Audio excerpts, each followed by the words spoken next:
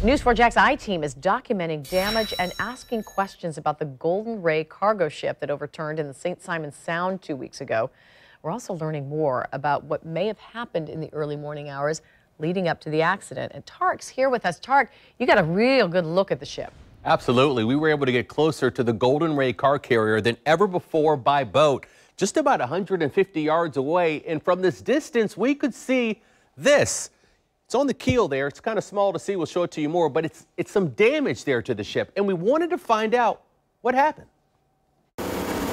A charter boat captain takes the News4JAX I team within two football fields of the Golden Ray cargo ship that's lying on its side in the St. Simons Sound. From the water, we were able to observe damage that we could not see from a distance.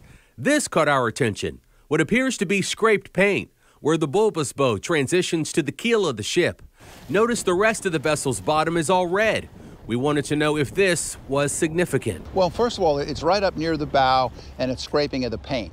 And we know that there was a buoy, buoy 19, that actually went totally underneath this ship.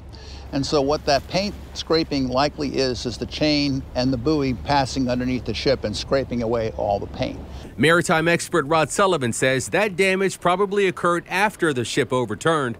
He points out at the time of the accident, another vessel was approaching the Golden Ray and both ships were sharing the same channel. Another car carrier called the Emerald Ace that was inbound, and we had this ship, the Golden Ray, outbound.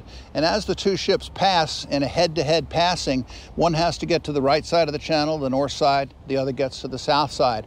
And when they pass, they're basically at the edges of their channel. And that appears to be about where the, uh, the, the rolling over occurred. Sullivan suspects improper stabilization was also a factor in the Golden Ray turning over on its side.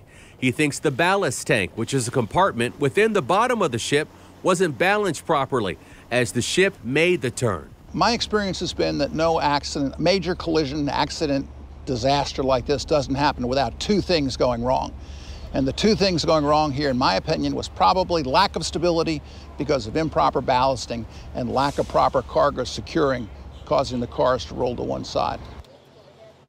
Now, at the time of the accident, the tide was rising as the Golden Ray was outbound. The low tide had just passed, so Sullivan does not think that the ship went out of the channel.